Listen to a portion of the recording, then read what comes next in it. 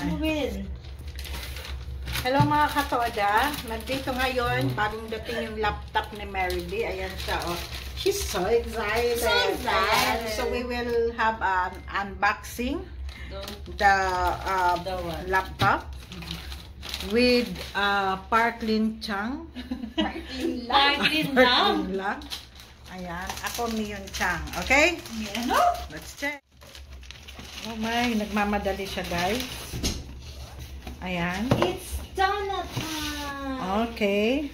Unboxing mo. Unboxing. Unboxing. Napakatindi. Bakit hindi naman yan laptop Ang na? bilis naman mag-unboxing. Grabe, nag Mac, Mac. MacBook. Bakit hindi siya box ng MacBook? Ay, sabihin mo, thank you, shopping. Saan? Sino nagpadala? Si Shopee? Thank you, Shop. Wow! It's so small. How much is that again? Napakatindi. Napakatindi. Isang kaskas lang, Par. Napakatindi. Talaga. Thank you po. Ganyan, Timervi? 3660. Ay, wow. Total pala sa sahod eh. Ay, wow. It's from the Lord. Amen. Napakaliit pala niya, no? In English, handle, handleness.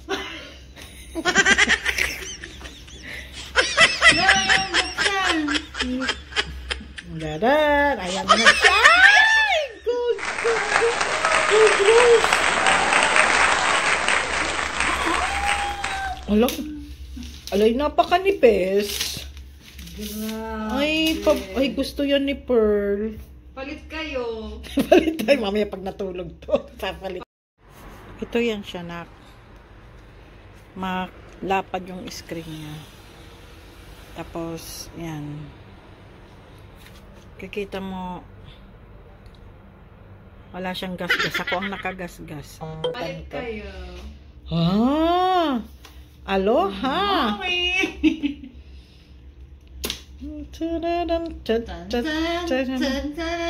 Ano to? Ba- bagong usong screen? Hindi. Bagong screen uso yan? Tatanggalin niya.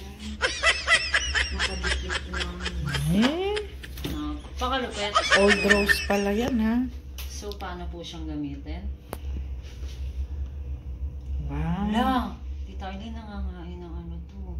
To use English as the main language. Wow, nagsasalita! eh, paano kung Bisaya man ang gamitin namin, Day? May magagawa ka ba, Day? Wow. La! Ayaw. Kasi tag- Isa ka rin, eh, no? Ewan ko sa'yo, napkin yan. Eh, ba't ayaw bumaba?